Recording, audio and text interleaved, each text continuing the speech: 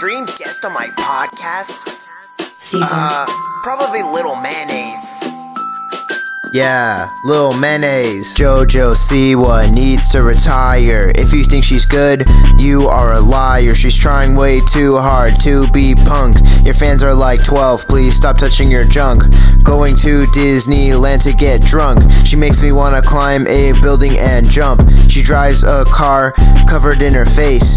Elon Musk, please send her to space. Every time I hear about her, it's against my will. She makes me wanna overdose on pills. JoJo Siwa is so damn cringe. She rubs herself on stage even though her fans are kids. She wants to be Miley Cyrus so bad. If she quit music, everyone would be glad. She makes me wanna blow out my brain. If you like her music, you're clinically insane. I didn't even like her on Nickelodeon. JoJo, please never upload again. She sounds like she smokes two packs a day. And that's all I have to say.